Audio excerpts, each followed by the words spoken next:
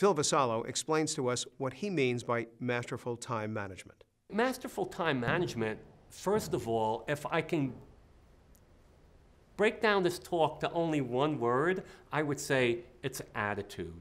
So masterful time management is having the right attitude about what you can reasonably do and how you can reasonably chart it out. So a masterful time manager has to always have a time management tool. I know those people who say, I have it all up here and it's not a problem. Frankly, I believe they don't have too much going on in their life. You know, they, uh, and I know people who are quite busy who do do it successfully, but they probably have a lot of people behind the scenes helping them and telling them where they got to go at such and such a time. Uh, so a masterful time manager will always have a tool, number one, and he will always or she will always record those events in their life that are important. Basically, time management every second of your life is probably coming down to things that are um, definitely imperative.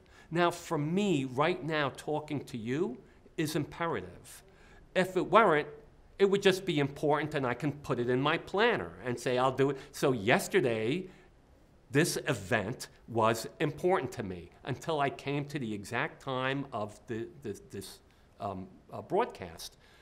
Now, if I needed to, for some reason, leave this very seat, obviously it's because something more urgent, something more imperative has pulled me from this seat. And you can imagine what those circumstances might be biological necessity, whatever, right? And then there are also things that are completely insignificant. Those are the things like twiddling my thumbs for Sheila to get me the introduction and Bobby to get me the data. That's a complete waste of time, right? So a masterful time manager knows his or her inclinations to do that and knows how to offset them.